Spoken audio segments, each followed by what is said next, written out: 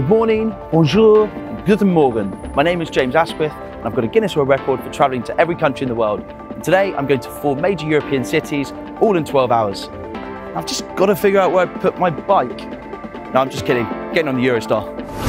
Right, so let's plan this out. We have four cities and three trains today. We are going to start off early this morning in Amsterdam, head south to Brussels. From there, we're going to get the train west through the English Channel to London just in time for lunch. And if all goes to plan, we're hoping to get the train back east to Paris in time for dinner. Fingers crossed.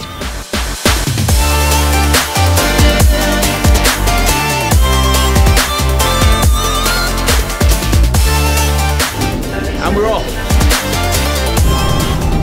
Handschlag, I think that's how you say it. Thanks very much. So here I am, I'm on the first train in Amsterdam heading to Brussels, one hour and 50 minutes. I'm gonna get some work done and tuck in some Dutch treats.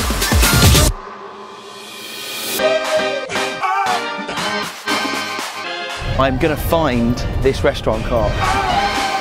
Got it, here we are. I'm gonna be on the Eurostar more than you today. Four trains in a day. See you long day. Cheers. Here we are for the ride. Welcome to Brussels.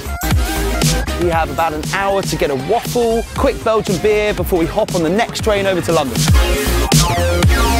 I'm going to check out this thing. What is this? Getting a waffle in Belgium. Next train, five minutes, quick stop in the lounge, then we're off to London. All right, I'm taking the camera.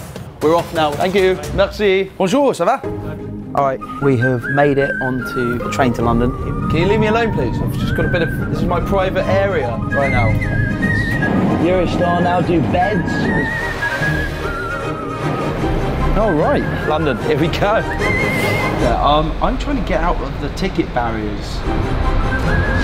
Back home. Here we go. Going to get some fish and chips in London. Bon appetit. All right, so spent a couple of hours in London here, my hometown. That's my train right there. It's going to take me to France. Pretty awesome that you can do all four countries, four cities in one day with Eurostar. Cheers. All right, so we have seen loads of different culture.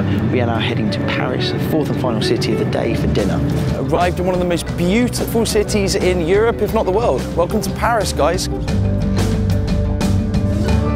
Got a bit of steak tartare and French onion soup right here. Pretty hungry. I'm gonna tuck in. Mmm, worth it. So that is a wrap. We travelled to four cities with Eurostar all in one day.